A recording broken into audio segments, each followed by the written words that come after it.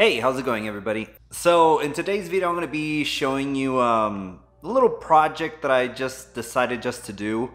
I was actually rummaging around kind of like my PC parts and stuff like that. I was like, I looked at a couple of things and I was like, hmm, I wonder what I can build with this. So let me go ahead and show you what I mean.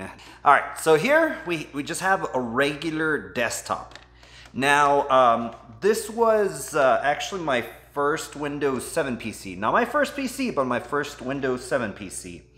Uh, it was pretty cool. I mean, uh, I went from going and getting a laptop that had Vista, horrible operating system, to uh, Windows 7 that I technically just fell in love with.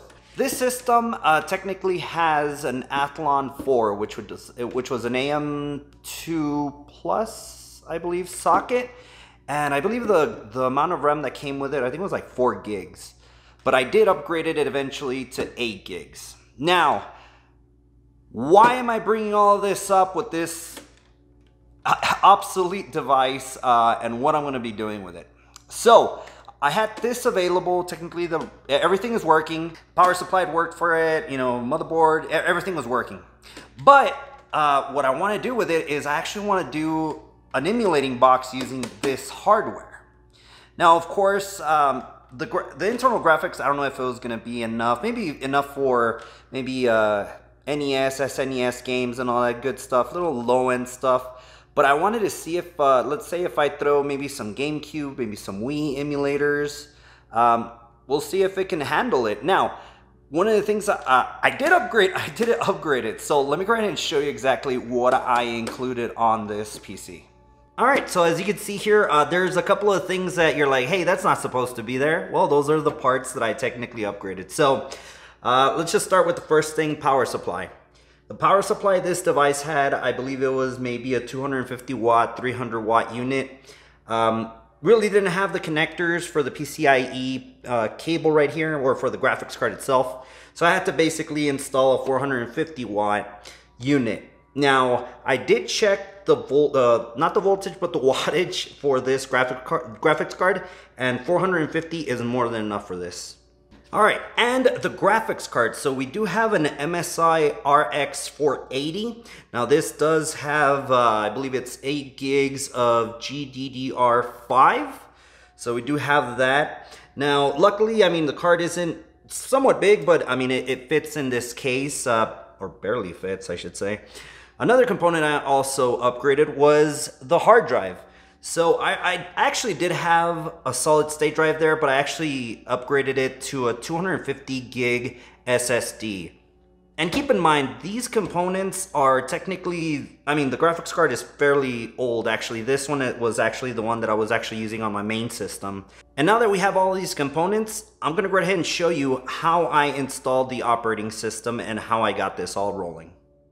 The first thing we're going to go right ahead and do to get that computer operational, or what I did to get it operational, is of course I went right ahead and open up Chrome and we actually went to now we're gonna go right ahead and go to the website Lakka. So let's go right ahead and do that right now. Now that we actually Googled Lakka, now we can actually see that we have the actual website is www.lakka.tv. So if you go here, so open source gaming console, cool. So let's go ahead and get Lakka. Uh, oh, why does this website have ads? Okay, Lakka is still under heavy development, which is fine. Come on, get me there. Okay, so now that we're uh, in this page, of course, we're gonna go right ahead and download uh, the image for Windows. So let's go ahead and click on that. Now here you get a bunch of different, you know, uh, hard- hardware that it actually supports. So if you have a Raspberry Pi, you know, this is where you can actually find it. I actually, on my tutorial to do um, this exact same thing, I, technically I came to this website to create a hand image. I believe it was a uh, Raspberry Pi 4. So yeah, so there's a bunch of stuff. Even, I can't believe it, even the Nintendo Wii. But for the, the hardware that I'm going to be using, it's just going to be a generic PC. Okay, now that we're here, we're gonna go right ahead and download Lakka for 64-bit CPUs. All right, so once you have the file downloaded, we're gonna go right ahead and unzip it. So if you don't have, um, what is it, WinZip or anything like that, you could go right ahead and get 7-zip for free and actually go right ahead and extract it. That's exactly how I'm to be doing it. So you just right click, oops, right click, 7-zip, extract here. There we go. So we have it extracted. Now, the other software we're going to need is going to be this Win32 Disk Imager. So you can actually find this for free as well. So we're going to go ahead and open it. Now, the next thing we're going to do is we're going to go ahead and plug in our USB thumb drive. So as you can see right here, I already have mine connected. And then for the file name, we're going to go ahead and look for that image. So let's go ahead and do that right now. Once that image is actually located, uh, which is most likely going to be in your downloads folder, uh, now we can actually go right ahead and click on write. Now it's going to warn us uh, writing to a physical device can corrupt the device. It's fine. We're going to click on yes. Now this process is going to take some time. So I'm going to go right ahead and let this run and then we'll be back shortly.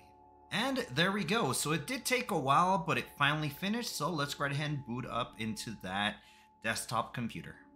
All right, so now we need to go ahead and boot into that USB device. Let's go ahead and do that. Okay, so in here in the options, we're gonna go ahead and type installer. Now, this is most likely gonna probably boot into the live CD if you don't do this quick enough. So if uh, that does happen, just go ahead and just basically reboot the device. Okay, so we're in the main menu of this. So here, of course, we're gonna do install Lakka, hit enter. And then of course we're gonna go ahead and install it on the actual hard drive. Now, if you remember, I actually said that I installed a 250 gig SSD. Well, for this demonstration, I actually plugged in 120 because I already have everything kind of loaded up. So I'm just gonna go ahead and walk you through just with this installation. So here we're just gonna, gonna go right ahead and select the actual SSD, hit enter. If you want to continue, the contents of this target disk will be wiped. We're going to click on yes. Uh, last chance, yeah, of course, go ahead and install it. Now, if I remember correctly, the installation shouldn't really take that long, so it should take a couple of minutes and it should finish. Okay, there we go. So, Lakka installation complete. You may now remove the installation media and reboot. So there we go. So just hit enter. Um, at this point, you can just power down the, the machine and let's go ahead and boot into this.